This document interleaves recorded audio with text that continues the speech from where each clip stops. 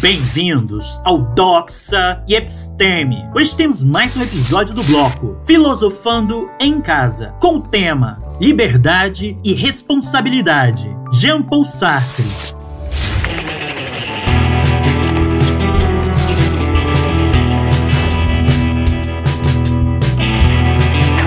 Sartre diz: não apenas somos responsáveis pelo que fazemos, mas também somos responsáveis por nosso mundo. Cada um de nós está vivendo um certo projeto com a nossa vida. Então, seja lá o que aconteça conosco, deve ser aceito como parte dela. Sartre chega ao ponto de dizer que não há acidentes na vida, ele dá o exemplo de ser convocado para lutar na guerra. É errado pensar na guerra como algo externo, que vem de fora e de repente assume a nossa vida. De fato, a guerra deve se tornar a minha guerra. Eu poderia sair dela a qualquer momento, me matando ou desertando. Mas, por um motivo ou por outro, covardia, inércia ou não querer deixar minha família ou meu país, eu permaneço na guerra. E por deixar de sair dela, eu a escolhi. Uma guerra depende de seus soldados para sua existência. Logo, eu decidi que ela existe. Não há motivo para vê-la como um bloco de tempo removido de minha vida, levando-me para longe do que eu realmente quero fazer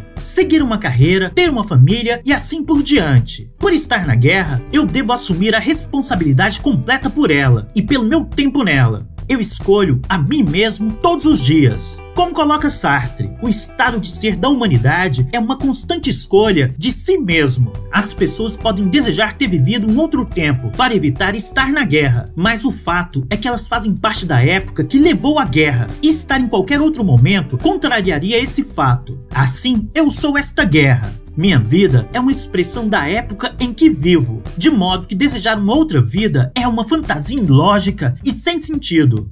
Sartre comenta que estamos abandonados no universo. A angústia vem da percepção de que não somos o fundamento do nosso próprio ser, ou seja, não inventamos a nós mesmos, nem escolhemos nosso nascimento, e não podemos ser o fundamento do ser de outras pessoas. Tudo o que podemos fazer é escolher o significado de nosso ser, vendo tudo no mundo como uma oportunidade, seja aproveitada, não aproveitada ou faltante em primeiro lugar. Aqueles que percebem que escolhem o significado de seu ser, mesmo que seja um pensamento assustador, são absolutamente livres. Podem viver sem culpas, arrependimentos ou remorsos e ter absoluta responsabilidade por suas ações. O objetivo humano é perceber e apreciar nosso ser e nossa liberdade. Outros objetivos que criamos como substitutos daqueles que indicam um espírito de seriedade, que sugere erroneamente que estou fazendo o que é crucial. Como Sartre observou, o sucesso não é importante para a liberdade. Para sermos livres, não precisamos alcançar o que queremos. Temos simplesmente que ser livres para fazer uma escolha. Viver como se as nossas ações fossem cruciais, ou passar a nossa vida tentando viver de acordo com algum sistema de valores morais universais é uma espécie de má fé. Apenas ao realmente escolhermos por nós mesmos o que queremos ser a cada minuto, criamos nossa vida como se ela fosse uma obra de arte, decorrente dessa liberdade total. E somente assim perceberemos nosso potencial como seres humanos. A declaração de Sartre, que o homem é o que não é e não o que é, significa que não podemos escapar à nossa facticidade, os fatos da nossa existência, como nosso gênero, nacionalidade, classe ou raça. Todos esses fatos oferecem um coeficiente de adversidade, que torna qualquer tipo de realização na vida uma batalha árdua. E no entanto, não somos simplesmente a soma de nossas facticidades. O problema é que evitamos fazer coisas totalmente novas, coisas que não sejam características, porque valorizamos a coerência em nós mesmos. Coerência ou caráter é tanto uma forma de segurança quanto a lente através da qual podemos visualizar e compreender nosso mundo. Mas é, em grande medida, uma ilusão. Sartre diz que, apesar de todos os fatores limitantes de nossa existência, somos mais livres do que imaginamos. Má fé. O famoso conceito de Sartre de má fé repousa sobre uma distinção entre dois tipos de mentira: a mentira regular, que significa que o mentiroso, na verdade, está em plena posse da verdade que está escondendo, cuja mentira se refere a algo no mundo dos objetos, expressando a visão de que o eu e outros estamos separados. Por outro lado, a mentira para si mesmo é uma mentira de consciência, que não envolve uma separação entre o enganador e o enganado. Essa segunda mentira é menos absoluta, mas ainda mais grave, já que se trata de um voo para longe de nossa liberdade, como Sartre explica. Então, a má-fé tem uma aparência à estrutura da mentira. Só, o que muda tudo é o fato de que na má-fé é de mim mesmo que estou escondendo a verdade. A má-fé exige que uma pessoa aceite as coisas de cara e repousa sobre a resistência da ideia de desvendá-las completamente para encontrar a verdade. Se não for uma mentira desvelada, é convencer a si mesmo a não olhar por demais, caso se encontre algo de que não se goste.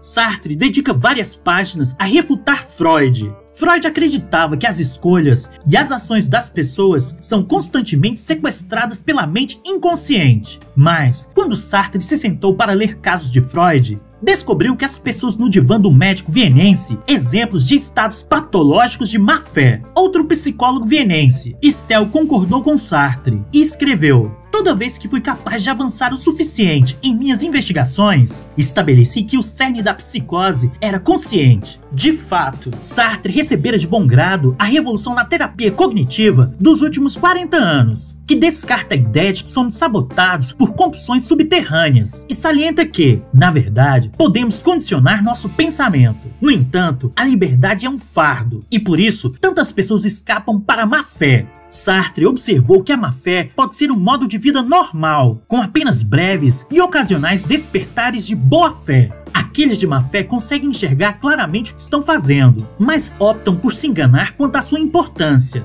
Ele dá o exemplo de uma mulher que concordou ir a um primeiro encontro com um homem, embora ela não tente impedir os atos de flerte e as declarações de amor ou afeto por ela, ao mesmo tempo, ela não toma nenhum tipo de decisão sobre o relacionamento. Então, o que ela faz? Para continuar a desfrutar o encontro da noite, ela reduz as declarações do homem apenas em seu sentido literal. Quando ele diz a ela, eu acho você atraente, ela cuida para não aceitar nenhum outro significado, como quero dormir com você ou quero um relacionamento sério. Quando ele pega a mão dela, ela não quer destruir a noite puxando-a. Portanto, finge para si mesma que não notou sua mão na dele. Ver o próprio corpo como um mero objeto tem o efeito de preservar sua liberdade. Ela não fechou nenhum compromisso, ou pelo menos essa é a forma como ela escolhe ver a situação. No entanto, a separar seu corpo, ou os fatos da situação, de seu ser transcendental, seu verdadeiro eu, se quiser, ela está criando uma mentira para servir a uma finalidade específica